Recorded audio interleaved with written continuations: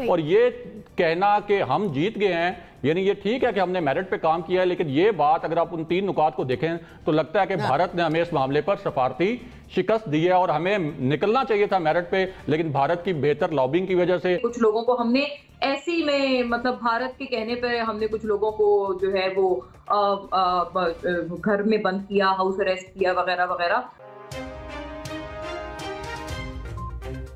फैटिव के मुतालबात के मुताबिक पाकिस्तान ने हर मुमकिन इकदाम किए हैं। उम्मीद की की जा रही थी कि शायद पाकिस्तान ग्रे लिस्ट से निकलने में कामयाब हो जाएगा मगर फैटिव के सदर ने यह ऐलान किया कि जून तक पाकिस्तान जेर निगरानी ही रहेगा। अब हमें और क्या करने की ज़रूरत है इस पर आज हम बात करेंगे। कि जिन तीन नुकात पर पाकिस्तान को कहा गया है कि इसके ऊपर अमल नहीं किया या इसके ऊपर अमल करें वो तीनों टारगेटेड नुकात वो हैं जो भारत उठाता रहा है। उनमें से एक नुकता यह है कि ऐसी दहशतगर्द तंजीमें जिनको दहशतगर्द अकवा मुतहदा ने करार दिया है या शख्सियात उनके इमा पे आगे काम करने वाले जो लोग हैं उनके खिलाफ आप टेरर फाइनेंसिंग के ऊपर काम करें हम्म। इसी तरह जो दो करारदादे हैं जिनके तहत हाफिज सईद को भी दहशतगर्द करार दिलवाया था भारत ने हम्म। उन करारदादों का ज़िक्र किया गया इसका मतलब तो यह है कि ये जो तीन नुकात हैं जिनके ऊपर पाकिस्तान को ग्रे लिस्ट में रखने का फैसला किया गया है ये सिर्फ़ और सिर्फ़ भारत के इन्फ्लुएंस की वजह से और भारत का जो बेहतर असर रसूख है और उसकी जो लॉबी है उसकी वजह से किया गया है। तो ये पाकिस्तान के साथ बड़ी ज़्यादा हुई है और ये कहना कि हम जीत गए हैं यानी ये ठीक है कि हमने मेरिट पे काम किया है लेकिन ये बात अगर आप उन तीन नुकात को देखें तो लगता है कि भारत ने हमें इस मामले पर सफारती शिकस्त दी है और हमें निकलना चाहिए था मेरिट पे लेकिन भारत की बेहतर लॉबिंग की वजह से और ज़ाहिर है भारत के साथ उनके मफादात जुड़े हैं। आप देखें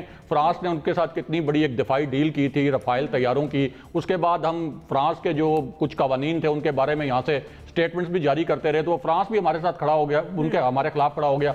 तो ये सारे फैक्टर्स हैं हमें सफारती सतह पर भी करना चाहिए। इस मामले को ज़ाहिर है कि अपनी सफारती पॉलिसी भी बेहतर करनी चाहिए। और दूसरा बदकस्मती ये भी है कि भारत की लॉबिंग और उसके साथ जो मफादात जुड़े हैं आलमी बरदरी के वो हमें मार रहे हैं। खासतौर पर ये तीन पॉइंट्स आप पढ़ें तो बड़ा ही अफसोसनाक है कि सिर्फ़ भारत की वजह से हमें ग्रे लिस्ट में रखा गया। देखिए नेशनल एक्शन प्लान तो फैटर्स में ब्लैक लिस्ट हत्या ये कि हम ब्लैक लिस्टेड या सॉरी जो ग्रे लिस्ट है हम इसमें पहले भी रह चुके हैं लेकिन ये कि इस मरतबा जो 2018 में हमें जो हालिया लेटेस्ट डाला गया है ब्लैक ग्रे लिस्ट में आ, उससे पहले ही हमारा नेशनल एक्शन प्लान बन चुका था जो कि आर्मी पब्लिक स्कूल के साने के बाद हमने बनाया था। तो ये तो एक बात ही गलत है कि अगर ये कहा जाता है कि हम आ, सिर्फ़ इस ग्रे लिस्ट को अवॉइड करने के लिए इससे निकलने के लिए और ब्लैक लिस्ट को अवॉइड करने के लिए हम दहशत गर्दों के खिलाफ कार्रवाई कर रहे हैं। ये बहुत एक गलत परसेप्शन है। अफसोस की बात यह है, मुझे लगता है हमें ऑन ग्राउंड हमने जितना कुछ किया है, बिल्कुल वो अपनी जगह बिल्कुल सही है और बहुत कुछ वाकई हमने किया है वाकता किया है। बहुत आगे लेवल तक जाकर भी हमने कुछ मामला किए हैं। जैसे कि अभी एनबीसी भी कह रहे थे कि कुछ लोगों को हमने ऐसी में मतलब भारत के कहने पर हमने कुछ लोगों को जो है वो घर में बंद किया हाउस अरेस्ट किया, वगैरह वगैरह। लेकिन फिर भी मुझे ये बात लगती है कि हमें थोड़ा सा परसेप्शन पर काम करने की ज़रूरत है। ये बात बिल्कुल सही है कि हम ब्लैकलिस्ट नहीं होंगे। चीन, कतर, मलेशिया ये ममालिक हमारा सॉरी चीन टर्की मलेशिया, ये ममालिक हमारा साथ दे रहे हैं वहाँ पर। और इसके अलावा दीगर जो एफ़ में मेम्बरान हैं उनकी शायद हमें उस तरह से हिमायत हासिल नहीं है। आ, ये कहना गलत है हकीकत पसंदाना जो बात है वो यही है कि शायद आइंदा आने वाले माह में भी उनकी हिमायत हमें ना मिल पाए जैसे कि अभी तक भी नहीं मिल पाई है। ये ज़ाहिर है एक परसेप्शन पाकिस्तान की तरफ़ से हमेशा दिया जाता है कि हम रियलिस्ट से निकलने वाले हैं। ये ज़ाहिर है मुझे लगता है ये सिर्फ़ एक पब्लिक सेंटिमेंट के लिए ये एक बात होती है।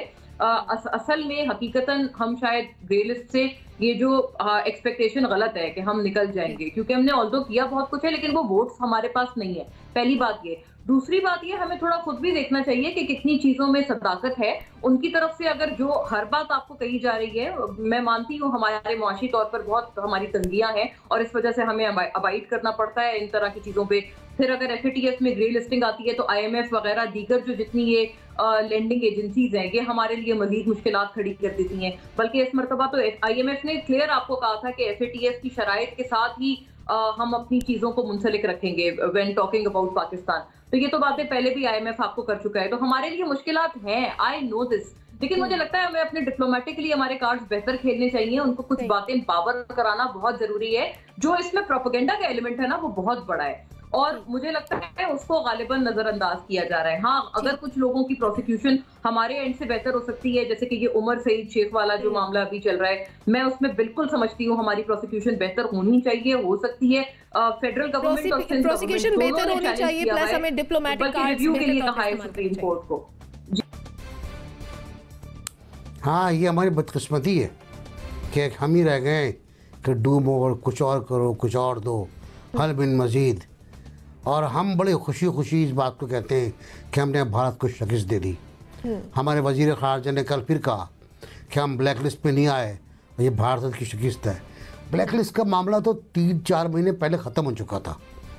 जब हमने आधे से ज़्यादा वो पे काम कर लिया था उसी वक्त चेयरमैन ने अनाउंस किया था कि अब इंडिया के सहाफ़ी के जवाब में कि अब ब्लैक लिस्ट का मामला ख़त्म हो चुका वो ऑप्शन नहीं है। और अब हमारे वजी खारजा कल कह रहे हैं हमारी बड़ी कामयाबी। मैं समझता हूँ मुझे मायूसी हुई है। हमने जो कानून साजी की जो इकदाम किए हमने बहुत से लोगों को पकड़ा जेलों में बंद किया उनकी तंजीमें उनकी वो तंजीमें बंद की हमने जो खतबंद खल के लिए थी। हम्म। जो जिन्होंने जलजिले में बड़ा काम किया था उनको हमने पकड़ा बंद किया चलें बहुत अच्छा किया। हमने अपना शायद हमसे कमी ये रहेगी कि जो नेशन एक्शन प्लान है उस पर हमने पूरा अमल नहीं किया।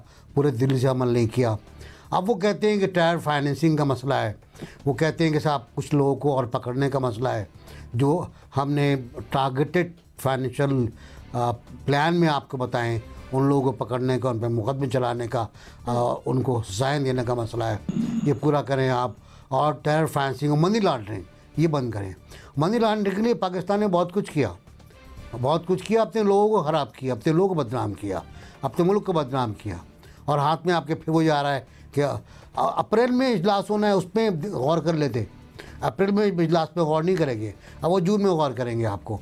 चार महीने के बाद गौर करेंगे दोबारा। तो मतलब वही हुआ कि ज़ाती मुचलके और अदालती मुचलकों पर हमें फिर रिहा कर दिया गया है। और फिर हम कहेंगे कि हम भारत को नाकाम बनाकर आ गए हैं और सियाह लिस्ट से बाहर हैं। हेलो फ्रेंड्स अपना हिंदुस्तान न्यूज़ में आपका स्वागत है। पाकिस्तान में मातम शुरू हो गया। जब से उन्हें पता चला, इन्हें ग्रे लिस्ट में ही रहना पड़ेगा, वो भी जून तक। बहुत खुशियाँ मना रहे थे, इस समय हम ग्रे लिस्ट से बाहर निकल जाएँगे और भारत को दिखाएँगे। और चारों तरफ़ से जूते खाने के बाद अब शांत हो गया पाकिस्तान। इससे पता चलता है, भारत की डिप्लोमेसी की याद ताकत कितनी है, जिसकी वजह से पाकिस्तान, चाइना और टर्की मिलकर भी पाकिस्तान को बाहर नहीं निकल पा रहे। इसे कहते हैं डिप्लोमेसी और ये खुद भी मान रहे हैं कि भारत ने हमें चारों तरफ़ से शिकस्त दी है, हमें ज़्यादा खुश होने की ज़रूरत नहीं है, क्योंकि काम ही पाकिस्तान ने इस तरीके के कर रहे हैं कि आसानी से वो ग्रे लिस्ट से बाहर नहीं हो सकता। और आने वाले टाइम में अगर ज़्यादा गंदा रहा तो ब्लैक ब्लैक लिस्ट भी दोबारा में जा सकता है। और पाकिस्तान भी ये समझ चुका है भारत से पंगा लेके हमने बहुत बड़ी गलती कर दी है, और इसके सहारे हम कहीं पर भी व्यापार नहीं कर सकते, ना हमारी इकोनॉमी ग्रो कर सकती है। आज इन्हें इस चीज़ का नुकसान हो रहा है जो भारत इतने सालों से बोलता चला आ रहा था। और आगे देखिए फ्रेंड क्या होता है इनके साथ। धन्यवाद।